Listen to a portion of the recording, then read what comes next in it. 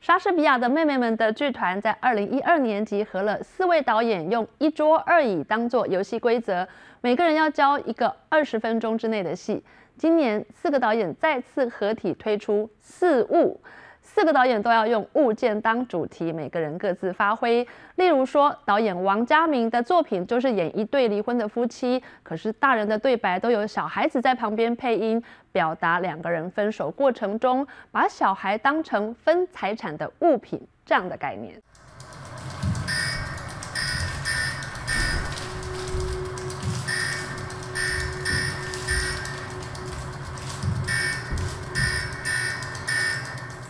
的装置艺术占满了枯岭街小剧场，两个演员穿梭在这个充气装置之间，有时在外，有时在内，有时触碰表面，感受不同压力的空气。这是徐艳玲的作品《口》，跟视觉艺术家王德瑜合作，把空气当成物件，表现与演员的互动状态。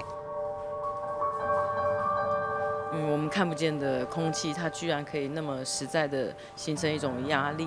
或者是我们在发呆的时候，几乎看不见跟任何物件，呃互动的时候，可能我们才能够更准确的跟一些感受在一起。比方说，在现场里面用的音乐，还有整体的状况，其实色调上是比较暗的，但是音乐是比较安静的，所以它真的可能象征着我们的想象空间，或者是心灵空间。我想让大家在看到这一次的整个空气的运动，那空气的运动，它对我而言还是像呼吸一样是重要的事情。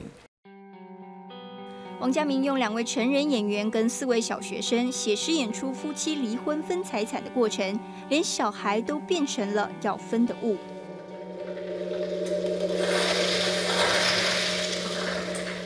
的作品做有泡面跟布丁当题材，表现台湾人对于食安风暴的无奈与困境。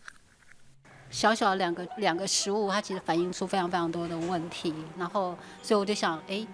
我想用影影像的方式来，就是拍拍摄演员吃泡面跟吃布丁。我刻意要一镜到底，然后一拍就是五分钟到六分钟，让演员去就着他在吃泡面过程或吃布丁的过程，他有些情绪反应，然后就一个就一直哭，一个就一直笑，然后但是到时候你会分不出来到底是哭还是笑。导演宝布用了生活中三十个日常用品，在人跟物的关系中，透过随机排列，产生出不同的意义。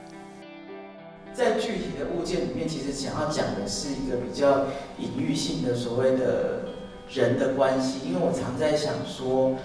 到底是因为人有这个需求，所以我们发明的